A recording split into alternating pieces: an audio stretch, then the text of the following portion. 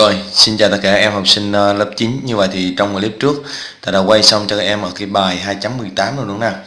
Trong clip hôm nay thầy sẽ quay tiếp cho các em bài 2.20 em nha.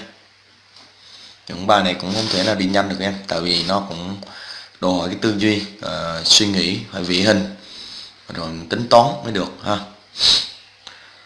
Trong hình thang vuông ABCD uh, ờ, với các đáy là AD với lại là BC ha. AD là BC à, vuông ở đây là góc A và góc B bằng 90 độ. Có góc ACD à, ờ, ACD cũng bằng ờ, 90 độ. BC bằng 4 cm AD bằng 16 cm hãy tìm các góc à, C và D của hình thang. Nghĩa là ở đây chúng ta cần phải đi tính thành góc C bằng bao nhiêu và góc D bằng bao nhiêu. Ý là như vậy ha. Thì bây giờ chúng ta sẽ tiến hành vẽ cái hình ra để dưới đây vị em nha tại vì nó hợp ở trên để rất là khó vị. Bây giờ thầy vẽ hình thang vuông vuông ở A với B hình thang vuông ha. Đấy chúng ta là AD với lại là à, BC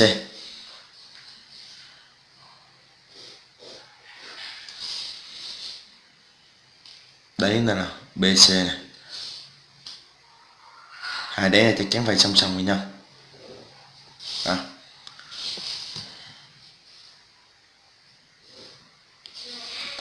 đây chính là A, B, C, D. Ở đây vuông ở A, ở đây vuông ở B. Được không nào? Có góc ACD bằng 90 độ. Ta nói dùm thầy lại. Ấy da. Có vì chúng ta tạm thời cứ hình dung ở đây là góc vuông nha góc này góc vuông bằng 90 độ này. Có BC bằng 4 AD đây bằng 16 hãy tìm ờ, các cái góc C và D của hình thang. Tính cái góc C ở đây, bằng bao nhiêu độ, và cái góc D ở đây, bằng bao nhiêu độ. Ý là như vậy. Các em hiểu nào? Như vậy thì để tính được góc D và góc C ở đây, thì bước đầu tiên chúng ta làm như nào này? Để em sắp lên phía trên đây nha. Để cái hình này cho nó dễ dễ thấy. Bây giờ để như này thì em rất là khó tính các em. Mà các em phải kiếm thành một đường phụ từ cái C này à, chúng ta sẽ vẽ một cái đường phụ đó chính là chúng ta kể à, CH nó sẽ vuông góc à, với lại là AD tại H. Ở đây 4 thì chứng tỏ đây mình sẽ 4 tại vì khi đó cái hình ABCH này là chính là hình gì? Đó chính là hình chữ nhật vì nó có ba con vuông này. 1 2 3 này. Theo cái cái dấu hiệu nhận biết của hình chữ nhật mà chúng ta được học ở trong chương trình lớp 8 đúng nào? Như vậy thì AH nó sẽ bằng BC ở đây bằng 4 mà AD AD người ta bằng 16 chứng tỏ cái đoạn HD này. HD sẽ bằng bao nhiêu? HD này sẽ bằng 12 à, tại sao thầy biết được 12 tại vì thầy lấy AD thầy lấy AD trừ đi cho AH 16 trừ cho 4 thì cái đoạn này HD này sẽ bằng 12 các em hiểu nào? Đó. À, như vậy thì ở đây thầy muốn tính góc D trước. Thầy tính góc D ở đây trước các em hiểu nè như vậy HD HD đã có này. Không? Thì theo em bây giờ chúng ta có tính được HC không? Có tính được HC ở đây vuông tại H này. HC tính được không? Được. Không? Đúng như nào? Như vậy thì theo em thì HC bằng gì? Hả? Bằng gì em? HC chính là đường cao. Ở trong một tam giác, gì? ACD đúng nào? Thì HC bình phương. HC bình phương thì nó sẽ bằng là gì? HA nhân cho cho HD Thành nó lại HC bình phương sẽ bằng là HA nhân cho HD được không?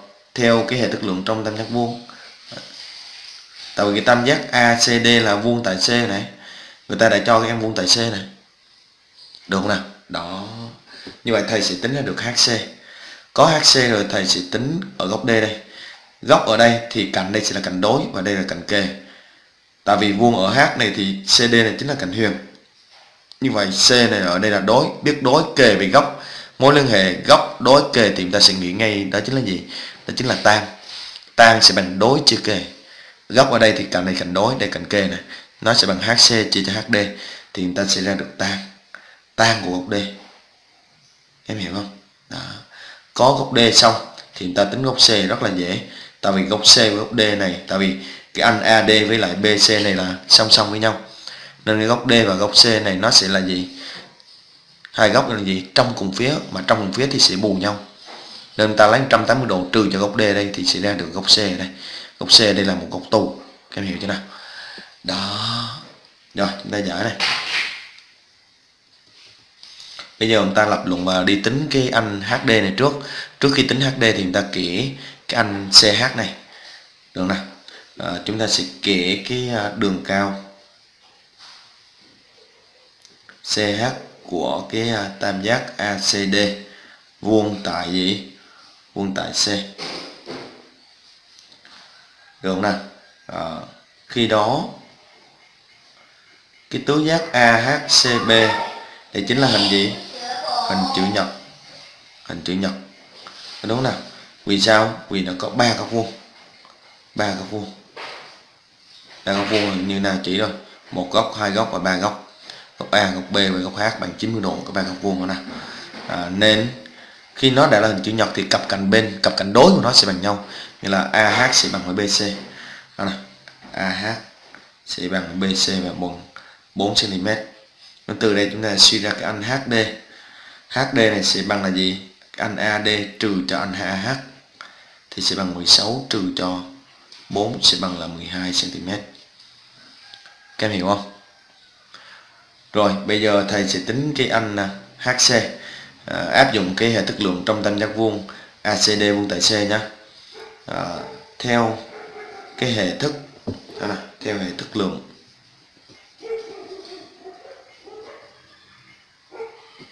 À, trong cái tam giác ACD vuông tại C. Thì ta có được điều gì? Ta có HC bình phương sẽ bằng HA nhân cho HD mà HA của chúng ta là bao nhiêu? 4 ở đó HD chúng ta là bằng 12 thì đây sẽ bằng 48 từ đây chúng ta suy ra cái anh HC này chúng ta sẽ lấy căn bậc 2 của 48 nếu không biết thì dùng máy tính bấm cho một cái nha. Đây này còn nếu biết thì chúng ta tách ra trở thành 16 nhân 3 16 nhân 3 trở thành là 4 căn 2 của 3 đúng không nào? Đây căn 2 của 48 này bằng này. Không biết thì dùng máy tính nha để nói lại như vậy. Như vậy cái này là bằng 4 căn 2 của 3 còn bạn nào mà mà vẫn ấy thì 48 này người ta có thể tách ra trở thành là gì? Trở thành là ờ, uh, 16 nhân 3 16 thì người ta rưu bên ngoài là 4 như vậy cái anh HC này sẽ bằng 4 căn 2 của 3 đúng chưa nào? Như vậy thì bây giờ thầy sẽ tính tan của góc D. Tan là bằng đối chia kề này bằng HC chia cho HD có đúng chưa nào?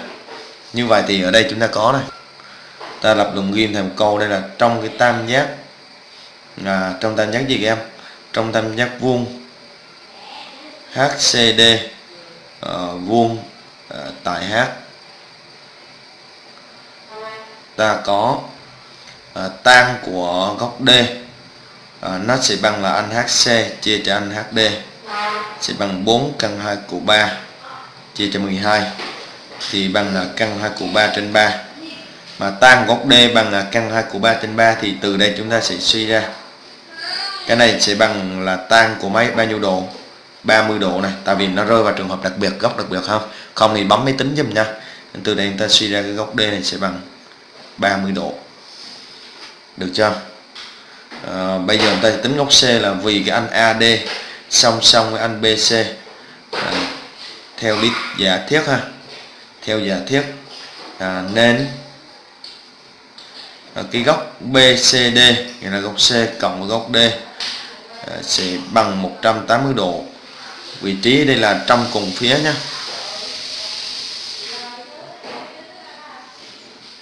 trong cùng phía nên từ đây chúng ta suy ra góc BCD nó sẽ bằng 180 độ trừ được cho góc D sẽ bằng 180 độ, trừ ở đây cho 30 độ thì bằng 150 độ. Ta kết luận ở đây vậy. Góc C sẽ bằng 150 độ và góc D sẽ bằng là 30 độ xong vậy thôi. Các em hiểu chưa nào?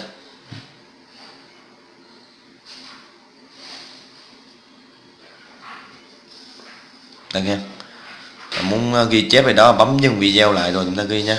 Các em comment thầy cái chất lượng video xem thử là cái độ sáng cái độ tiếng nói thầy nó có trong hay không hay là mic nó bị rè chất lượng video có ổn hay không em nha.